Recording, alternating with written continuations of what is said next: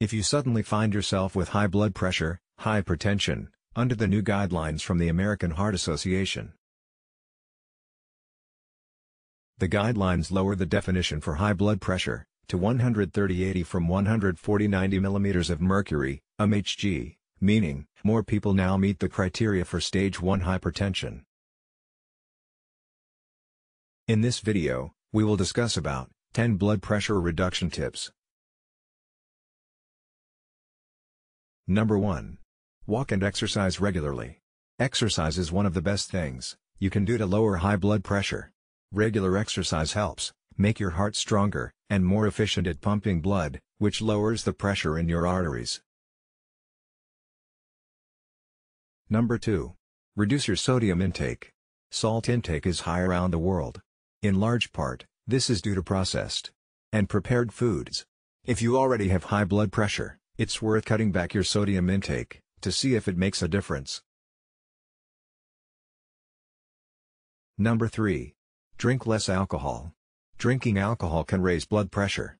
In fact, alcohol is linked to 16% of high blood pressure cases around the world. Limit your drinking in line with the recommendations. Number 4. Eat more potassium-rich foods. Potassium is an important mineral. It helps your body get rid of sodium, and eases pressure on your blood vessels. Eating fresh fruits and vegetables, which are rich in potassium, can help lower blood pressure. Number 5.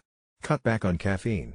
If you've ever downed a cup of coffee, before you've had your blood pressure taken, you'll know that caffeine causes an instant boost. Caffeine can cause a short-term spike in blood pressure, although for many people, it does not cause a lasting increase. Number 6. Learn to manage stress. When you're chronically stressed, your body is in a constant fight-or-flight mode. Chronic stress can contribute to high blood pressure. Finding ways to manage stress can help.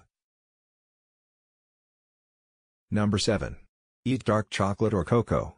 While eating massive amounts of dark chocolate probably won't help your heart. A review of studies found that flavonoid-rich cocoa improves several markers of heart health over the short term, including lowering blood pressure.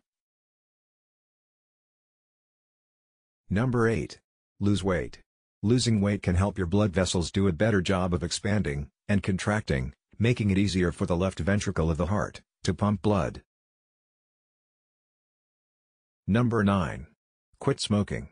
Among the many reasons to quit smoking is that, the habit is a strong risk factor for heart disease. There's conflicting research about smoking and high blood pressure, but what is clear is that both increase the risk of heart disease Number 10. Eat berries. Berries are full of more than just juicy flavor. Berries are rich in polyphenols, which can help lower blood pressure, and the overall risk of heart disease. If you are looking for a easy solution, we offer you Striction BP. It's known as the best blood pressure reduction solution.